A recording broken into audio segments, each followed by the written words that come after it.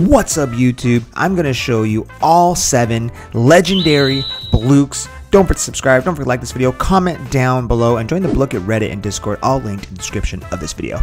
Let's get started everyone. So basically there's actually 7 tiers of Blooks, and the way you can find out is right here. I'm just to click the bot box for a second gonna hit this question mark. And right here you can kind of see these drop rates. Okay these drop rates go from double digits all the way down to you know single digits and even into these 10th uh, percentiles all the way down at the megabot.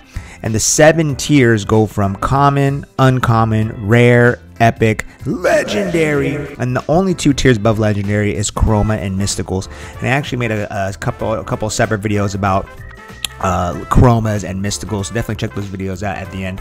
But as you can see here, the megabot is less than 1%. So typically, all the legendaries are less than 1%. Okay, besides, kind of go right here you can kind of see this orange astronaut in space. You can kind of see right here, orange astronaut is 0.05. So anything in the 0.05, like in the hundredth of percentage uh, uh, percentage points, does that make sense? Is my math right?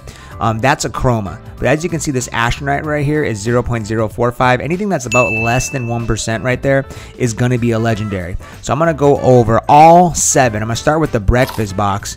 And you got pizza you know, at two. And I know some people don't count pizza as legendary. I'm not, because like I just said, the cutoff was 1%, um, but it's close enough, but not close enough pizza. Uh, let's go with uh, the medieval box right here. Uh, right here, the king is 1%, and that would make it an official legendary. Let's go to the Wonderland box. We'll hit the question mark again. We'll go King of Hearts. Right here is a 0.3% at also legendary. Let's go here for aquatic box. Let's look at the Megalodon, the Meg, everybody. Now, this is kind of tricky, okay? Baby Shark, you know, is it legendary? You know, I said it's less than 1%. You know, I'll leave it up to you. Let me know in the comments below. But the Meg, the Meg is is legendary, everybody. Let's go with Bot Box. Already said the Mega is less than 1% at 0.3. Got that Megabot, that hacker bot, everyone. Transformers, robots in disguise, right? So let's do the space box right here. And we got the astronaut at less than 1%.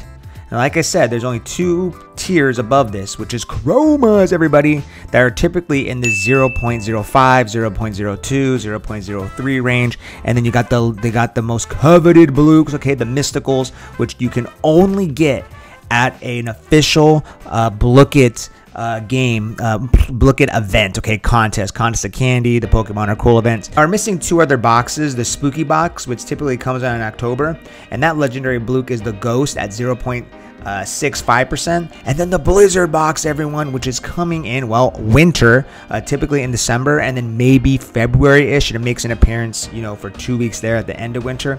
And that happens to the legendary Blook, and that one happens to be Santa at 1.05%. But those are all the legendary Blooks that you can get in Blooket. Let me know how you're doing. You can kind of see my progression right here. I almost have almost every single legendary Blook, but I typically try to dump my coinage into chromas, and that's how I spend my time. And then I try to get the legendaries because I want to save up all those coins to get those coveted chromas, everybody, which is one tier above legendary. Let me know what you think. Let me know your progression. Uh, screenshot uh, all your Blooks as well, and, and uh, put it in the Blooket Reddit for a flex, everybody. Linked in the description of this video. Peace.